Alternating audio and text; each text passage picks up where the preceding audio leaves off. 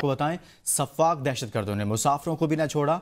Quetta railway station पर खुद कुछ धमाके में 24 अफराद जाबाक और 40 से ज़्यादा जख्मी हो गए मुतद जख्मियों की हालत अश्वशनाक है। धमाका उस वक्त हुआ जब जाफ़र एक्सप्रेस से जाने के लिए मुसाफरों की बड़ी तादाद प्लेटफॉर्म पर मौजूद थी। धमाका रेलवे स्टेशन पर टिकट घर के करीब हुआ। धमाके के बाद हर तरफ़ रिकत आमेज बनाजे और चीखों पुकार मच गई। मुसाफिर अपने प्यारों को ढूंढते रहे। धमाके में शहीद अफराद के लवाहकीन रेलवे स्टेशन पर गम की तस्वीर बन गए। धमाके की तला मिलते ही सिक्योरिटी फोर्सेस ने रेलवे स्टेशन का घेराव कर लिया। अस्पतालों में इमरजेंसी नाफिज कर दी गई। डिप्टी कमिश्नर कोयटा का कहना है कि धमाके के हवाले से अलर्ट भी जारी किया था। सफाक दहशतगर्दों ने मुसाफरों को भी ना छोड़ा और ये खुदकुश धमाका हुआ है कोयटा रेलवे स्टेशन पर। धमाके में 24 अफराद जाम बहक और 40 जख्मी हैं। मुताद जख्मियों की हालत तशवीशनाक बताई जा रही है। करीबी अस्पताल मुंतकिल कर दिया। धमाका रेलवे स्टेशन पर टिकट घर के करीब हुआ है। सफाक दहशत गर्दों ने मुसाफरों को बिना छोड़ा और इस खुदकुश धमाका के नतीजा में अब तक इतलात के मुताबिक चौबीस अफराद जहाँ बाक हैं, जबकि चालीस जख्मी हैं। कोयटा रेलवे स्टेशन पर खुदकुश धमाका मुतद जख्मियों की हालत तशवीशनाक बताई जा रही है। धमाका रेलवे स्टेशन पर टिकट घर के करीब हुआ। पाकिस्तान रेलवे ने कोयटा धमाके की इब्तदाई इंक्वायरी रिपोर्ट जारी कर दी। धमाका सुबह आठ बजकर बीस मिनट पर प्लेटफॉर्म नंबर एक के दाखिली दरवाजे पर हुआ। रिपोर्ट के मुताबिक धमाके के वक्त प्लेटफॉर्म पर कोई ट्रेन मौजूद नहीं थी। धमाके की नोयत खुद कुछ लगती है। आज रेलवे पुलिस ने कहा, रेलवे स्टेशन पर अठारह पुलिस एहलकार तैनात थे। कहाँ पर सिक्योरिटी लैब्स था, देख रहे हैं। कमिश्नर कोयटा हमजा शफकात ने कहा कि रेलवे स्टेशन पर खुदकुश हमले में सिक्योरिटी फोर्सेज के अहलकारों को निशाना बनाया गया। हमला खुदकुश था जिसकी ज़िम्मेदारी कलदम तंजीम ने कबूल कर ली है। दहशत गर्द वॉक थ्रू के रास्ते नहीं, बल्कि स्टेशन के खुले दाखिली रास्तों से अंदर आया था। वजर अला बलोचिस्तान मीर सरफराज भुगटी ने तहकीकत का हुक्म दे दिया। आला इंतजामी हुकाम से रिपोर्ट भी तलब कर ली गई है। आपको इस धमाके से मुतल आगाह करें। खुदकुश हमले में सिक्योरिटी फोर्सेज के एहलकारों को निशाना बनाया गया। कमिश्नर कोयटा की जानब से ऐसा कहा गया, हमला खुदकुश था, जिसकी ज़िम्मेदारी का लदन तंजीम ने कबूल कर ली है। आला इंतजामी हुकाम से रिपोर्ट तलब कर ली गई है। कहा वाक़ काबिल मजम्मत और मासूम अफराद को निशाना बनाने का तसलसल है। बलोचिस्तान से दहशत गर्दों का कला कमा करेंगे। वजर दाखिला मोहसिन नकवी का वजर अला बलोचिस्तान। सरफराज भुगटी से टेलीफोनिक रबता दहशत गर्दों के नापाक अजाम खाक में मिलाने के आज़म का अदा बलोचिस्तान में मुल्क दुश्मन अनासर की कार्रवाई की रोकथाम के लिए फौरी मौसर इकदाम उठाने पर इतफाक मोहसिन नकवी ने कहा कि बलोचिस्तान में अम के क्याम के लिए आखिरी हद तक जाएँगे। विफाक, बलोचिस्तान हुकूमत की हर मुमकिन मुआवनत करेगा, ये कहा गया है वज़ीर दाखिला की जानब से। मजीद बताएँ कि सियासी क्यादत की कोयटा खुदकुश हमले की शदीद मजम्मत। वजी अजम शहबाज शरीफ ने धमाके की मजम्मत करते हुए बलोचिस्तान हुकूमत से तहकीकती रिपोर्ट तलब कर ली। वजी आज़म का कहना था कि दहशतगर्दों को इसकी भारी कीमत अदा करना पड़ेगी। हुकूमत और सिक्योरिटी फोर्सेज दहशत गर्दी के खात्मे के लिए सरगर्म अमल हैं। वजी अजम की जहाँ बहक अफराद के लिए दुआई मफरत कायम सदर और चेयरमैन सनत यूसुफ रजा किलानी ने कहा दहशत गर्द इंसानियत के दुश्मन हैं जो निहत्ते अवाम को निशाना बनाते हैं। पंजाब, सिंध और खैबर पख्तुनहा के वजरा अला ने भी कोयटा धमाके की मजम्मत की और इस आज़म का इजहार किया कि निहत्ते शहरियों खातन और बच्चों पर हमला करने वाले दहशत गर्द ज़रूर अंजाम तक पहुँचेंगे। पीपल्स पार्टी के शरीक चेयरमैन बिलावल भुट्टो ने कहा, मासूम शहरियों को निशाना बनाने वाले इंसान इंसान की शक्ल में दरिंदे हैं, जो किसी रियायत के मुस्तक नहीं। स्पीकर कौमी असम्बली अयाज सादिक और सबक वजी अजम राजा परवेज अशरफ ने कोयटा खुदकुश हमले की शदीद मजम्मत की है। आपको बताएँ कि पाकिस्तान के तमाम मकातब फ़िक्र के उलमा मशाइ और मुख्तलिफ़ मजाहब के कायदीन ने कोयटा रेलवे स्टेशन पर हमले की भरपूर मजम्मत करते हुए कहा, इंसानियत के दुश्मन दहशत गर्द खारजियों और उनके सहूलतकारों के खिलाफ हर सतह पर कार्रवाई की जाएगी। चेयरमैन पाकिस्तान उलमा कौंसिल हाफिज मोहम्मद ताहिर अशरफी अलामा अब्दुल हक मुजाहिद, मौलाना नुमान हाशिर, मौलाना असदुल्ला फारूक मौलाना मोहम्मद खान लगारी, साहबजादा हसान हसीबुररहमान, अलामा सैयद ज़ियाउल्ला शाह बुखारी, अलामा आरिफ वाहिदी, बिशप आज़ाद मार्शल सरदार बिशन सिंह, पादरी एमानुल खोखर और दीगर कायदीन ने एक मुश्तर बयान में कहा है कि कोयटा रेलवे स्टेशन पर बेगुनाह पाकिस्तानियों का कत्लेआम करने वाले सफाक दहशतगर्द और कातिल हैं। इन दहशतगर्द खारजियों के खिलाफ पूरी कौम, अफवाज पाकिस्तान और मुल्क के सलामती के इदारों के शाना बशाना है। रहनुमाओं ने कहा कि रियासत पाकिस्तान की ज़िम्मेदारी है कि वो दहशतगर्द अनासर और इनकी पुष्पनाही करने वाले अनासर के खिलाफ एक्शन ले। उन्होंने कहा कि इंसानी हकूक की बातें करने वाले अनासर और तंजीमें बेगुनाह पाकिस्तानियों के कतलेआम पर खामोश हैं। इन अफराद और तंजीमों को इस कतलेआम के हवाले से कौम को जवाब देना चाहिए।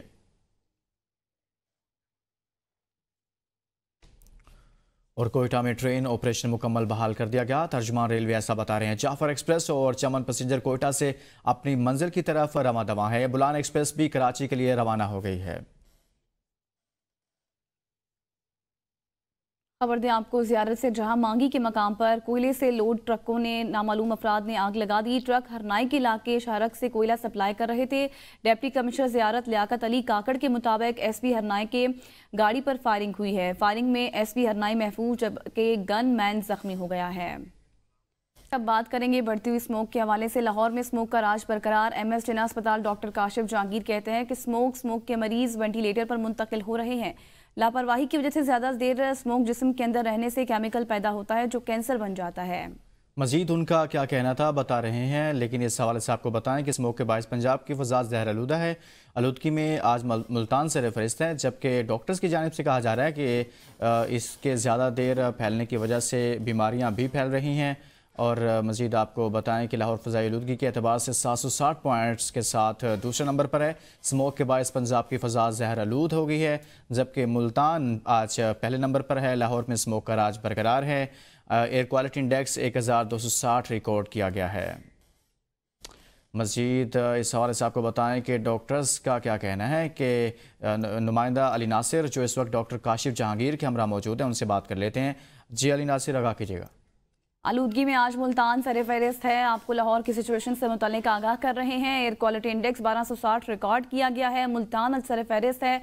लाहौर फ़जा आलूदगी के अतबार से 760 पॉइंट्स पर है। स्मोक के बायस पंजाब की फ़जा जहर आलूद हो गई है। जबकि डॉक्टर्स की जानब से ये बताया जा रहा है कि अगर इसी तरह स्मोक बढ़ती रही तो ये कैंसर भी बन सकता है।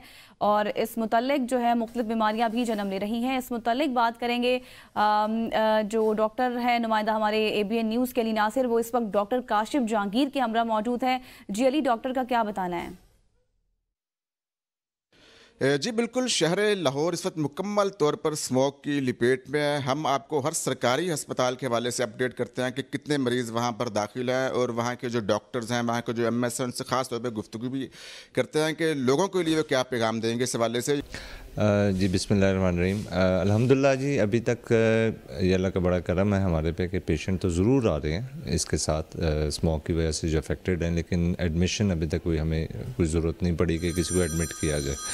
उसके अंदर जो है अब ये कि पेशेंट्स जो आ रहे हैं, वो ज़्यादातर सांस की तकलीफ़ और उसके अलावा आँखों में जलन और जो है, इसके अलावा गले में खराश और गले में सोजिश जो है, इनके साथ जो है, वो पेशेंट्स जो है, वो जो प्रेजेंट कर रहे हैं। और ख़ास तौर से वो पेशेंट जो इम्यूनो कॉम्प्रोमाइज़ हैं, यानी कि जो शुगर के मरीज़ हैं या जिनको सांस की वैसे भी तकलीफ़ है या जो हार्ट पेशेंट्स हैं, इन लोगों में ये तकलीफ़ बढ़ने की जो है ना, वजह भी बन सकती है ये स्मोक क्योंकि ये आपकी बॉडी में पहले ही इम्यूनो कॉम्प्रोमाइज़ है और आपको जब ऑक्सीजन लेवल और कम हो जाएगा तो इससे फिर जो ना और मसाइल भी पैदा हो सकते हैं तो इससे भी एहतियात की जाए ये थे एम एस जना अस्पताल डॉक्टर काशिफ जहांगीर साहब, जिनकी आपने गुफ्तु सुनी। उन्होंने लोगों को खासतौर पर वार्निंग दी है कि आप कम अज़ कम इन दिनों में जो बच्चों को स्कूल से छुट्टियाँ हैं, उनका एहसास करें, उनको घर में रखें। और अगर आप एहतियात नहीं करेंगे तो ये स्मॉग आपकी ज़िंदगी के लिए इंतहाई ख़तरनाक भी हो सकता है। और फ़जाई आलूदगी में मुल्तान पहले नंबर पर आ गया। स्मोक की बिगड़ती सूरत हाल से शहरी मुख्तलि बीमारियों में मुबतला हो रहे हैं। इस वक्त हमारे नुमाइंदे मोहम्मद अशरफ डिस्ट्रिक्ट हेडक्वार्टर अस्पताल में मौजूद हैं। उनसे जानते हैं कि स्मोक की एहतियाती तदाबीर के हवाले से तबी माहरीन क्या कहते हैं। जी अशरफ, बताइएगा। जी, बिल्कुल इस वक्त मुल्तान डिवीज़न जो है, ये महकमा वेदर की रिपोर्ट के मुताबिक स्मोक के लिहाज से नंबर वन पर आ गया है, ख़तरनाक हद तक। इसमें जो इंडेक्स है, एयर इंडेक्स, उसमें इजाफा हो गया और ये सोलह सौ से एयर इंडेक्स जो है, ये अबूर कर गया है। इस हवाले से हमारे साथ डिस्ट्रिक्ट हेडकोार्टर अस्पताल के सीनियर कंसल्टेंट मौजूद हैं। हम इनसे जानते हैं कि स्मोक से मुतसर अफराद के लिए, मरीज़ों के लिए क्या एहतियाती तदाबीर हैं। स्मोक से आँखों की एलर्जी हो रही है, दमे का मसला हो रहा है नज़ला खांसी ज़ुकाम के मसाइल हो रहे हैं। इसको हम कैसे कम कर सकते हैं? हम मास्क का इस्तेमाल ज़्यादा से ज़्यादा करें। घरों से गैर ज़रूरी बाहर ना निकलें। खिड़कियाँ, दरवाजे बंद रखें। पानी का इस्तेमाल ज़्यादा से ज़्यादा करें। और घर में अगर किसी को सांस का मसला हो रहा है तो भाप ले ले। पानी गर्म करके सिंपल उससे भाप ले ले। हर चीज़ जो स्मोक के हवाले से मरीज़ को ज़रूरत है, वो हमारे पास वाफिर मकदार में मौजूद है। जी तिब्बी माहरीन का स्मोक से एहतियाती तदाबीर से बचने के हवाले से ये कहना है कि मास्क का इस्तेमाल करें और रश वाली जगहों पर बिल्कुल ना जाएँ, घरों से बिला ज़रूरत घर से ना निकलें। पंजाब गवर्नमेंट महकमा सेहत की हदायत पर जो है ना सरकारी अस्पतालों में हमने स्मोक से मुतासर अफराद के लिए तमाम इंतज़ाम मौजूद हैं। बेड्स भी लगाए गए हैं और अद्वियात भी मौजूद हैं और इलाज मुआवजे के लिए डॉक्टर्स और पैरामेडिकल स्टाफ भी मौजूद है। जी। तहरीक इंसाफ का आज सवाबी में power show, motorway rest area में 80 फुट लंबा और 20 फुट ऊँचा स्टेज तैयार। पंडाल में रोशनी के लिए लाइटें और कारकुनान के लिए हज़ारों कुर्सियाँ भी लगा दी गई हैं। पंजाब से पीटीआई के काफले रोकने की तैयारियाँ, रावलपिंडी और अटक में दफ़ा एक नाफिज जल से जुलूस और रैलियों पर पाबंदी आयद। छाछ इंटरचेंज से कंटेनर मुख्त मकाम पर मुंतकिल कर दिए गए। पंडाल में रोशनी के लिए लाइटें और कारकुनान के लिए कुर्सियाँ लगा दी गई। कारकुनान की आमद का सिलसिला भी जारी है। विफाकी वजी इतलात तावला तारड़ ने कहा है कि तहरीक इंसाफ वाले एन आर ओ मांग रहे हैं। सियासी लीडर या पार्टी पाकिस्तान से बड़ी नहीं। पाकिस्तान है तो सियासत है तहम ये कहते हैं, बानी पीटे हैं तो सब कुछ है। कुछ चीज़ें सियासत और सियासी मामला से वालातर होनी चाहिए। हमने तमाम सियासी जमातों के साथ फराख दिली का मुजाहरा किया। खैबर पख्तनहा में कोई काम नहीं हो रहा। इसकी वजह यह है कि जलसों में लगे हुए हैं। कुछ लोगों के लिए कश्मीर और फलस्तीन का मामला कोई अहमियत नहीं रखता। गजा के हालात पर जैक गोल्ड स्मिथ के ट्वीट की किसी ने मजम्मत नहीं की। है। हम डिफॉल्टला ये है कि ये लोग लीडर की रहाई चाह रहे हैं। एनआरओ एनआरओ एनआरओ इनसे पूछना मुतालबा क्या है। भाई, ये सियासी केसेस हैं। हमने कहा था कि आप एक प्रॉपर्टी टाइकून से इतना बड़ा लिफाफा लें और बंद लिफाफे को काबीना से मंजूर करवाएँ और 190 मिलियन पाउंड की करप्शन करके अलकादिर का आप ज़मीन ले लें। अलकादिर के अंदर एक भी स्टूडेंट जेनुअन नहीं है। वो शैम यूनिवर्सिटी बनाई है, कई सौ कनाल ज़मीन हथियाई है पाँच पाँच कैरेट की अंगूठियाँ मांगते हैं। किस लिए? मकसद क्या है? हम डिफ़ॉल्ट के धाने से जहाँ आए हैं और जहाँ पहुँचे हैं, अल्लाह ताला की करम नवाजी है कि आज तमाम फैक्ट्स एंड फिगर्स इंप्रूव कर गए और इम्प्रूवमेंट के साथ साथ उसका असर आम आदमी तक पहुँच रहा है। खबर दें आपको, मुशीर तलात खैबर पखतुनहा बैरिस्टर सैफ का कहना है कि जलसे से पहले ही जाली हुकूमत की काम पे टांग रही हैं।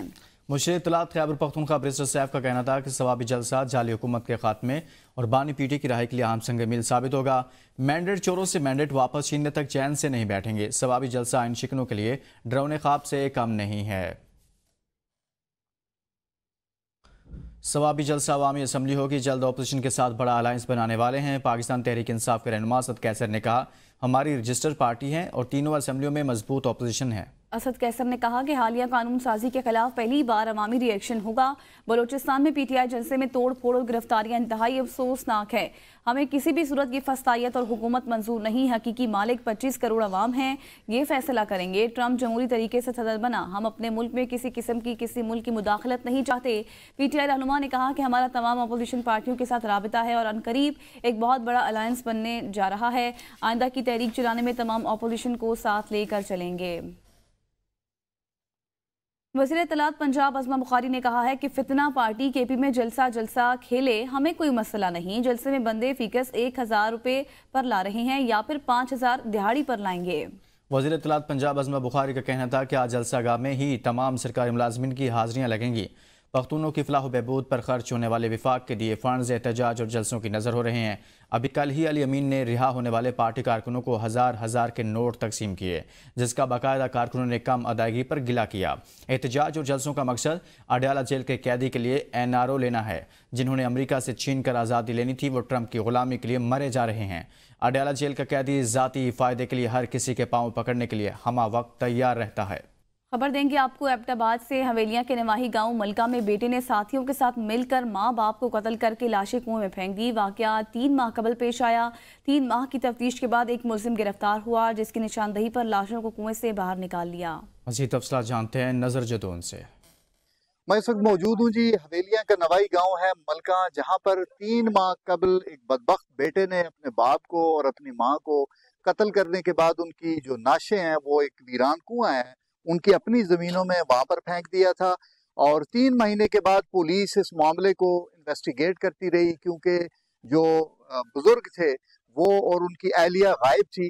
तीन महीनों के बाद जो कातल है, उसका एक दोस्त कराची से गिरफ़्तार हुआ और उसने बताया कि हमने जो डेड बॉडीज हैं, वो कुएँ में फेंकी है, उनको कत्ल किया है और कत्ल करने के बाद जो डेड बॉडीज हैं, उनको हमने कुएँ में फेंक दिया था। उसकी निशानदेही पे आज जो लोकल पुलिस है, हवेलियाँ इसी तरह थाना रजोइया की जो पुलिस है, वो यहाँ पर पहुँची। रेस्क्यू एहलकार यहाँ पे पहुँचे। उन्होंने रेस्क्यू ऑपरेशन किया और जो दोनों डेड बॉडीज हैं उनको निकाल लिया गया है।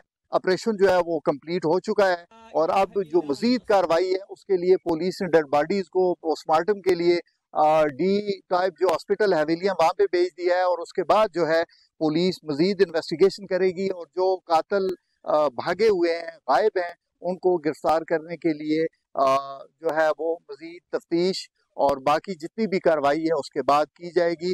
तो इस वक्त एक बड़ी तादाद यहाँ पे लोगों की मौजूद रही, पुलिस भी मौजूद थी और रेस्क्यू के जो एहलकार हैं वो भी थे। इस पूरा जितना भी ये ऑपरेशन हुआ है उसमें उन्होंने हिस्सा लिया। और अहम खबर आपको दें, चेयरमैन पीसीबी मोहसिन नकवी की जेर सदारत गवर्निंग बॉडी का अजलास खत्म। जराये के मुताबिक सुमेर अहमद को नया सी ओ पी सी बी तैनात कर दिया गया है। सलमान नसीर को chief executive P S L तैनात किया गया है। बोर्ड ऑफ़ गवर्नर्स ने इजलास में बाकायदा मंजूरी दे दी है। आपको खबर दें, सुमेर अहमद को नया सीओ पीसीबी तैनात कर दिया गया है। जराये के मुताबिक चेयरमैन पीसीबी मोहसिन नकवी की जेर सदालत गवर्निंग बॉडी का अजलास हो रहा था, जो कि अब खत्म हो गया है। Salman Naseer chief executive P S L तैनात कर दिए गए हैं। जरा के मुताबिक chairman P C B Mohsin Naqvi की जेर सदारत गवर्निंग बॉडी का अजलास अब खत्म हो चुका है। सुमेर अहमद को नया सी ओ ओ पी सी बी तैनात कर दिया है। सलमान नसीर लंबे अरसे से सी ओ पी सी बी थे और इस हवाले से काफ़ी दिनों से ये खबरें चल रही थी। खबरें जेर गर्दश थी कि अब इसी तरह से पाकिस्तान क्रिकेट बोर्ड में भी अखाड़ पछाड़ होगा और इसका आगाज़ सलमान नसीर से हुआ है। सलमान नसीर को हटाकर पी एस एल की जिम्मेदारियाँ सौंपी गई हैं।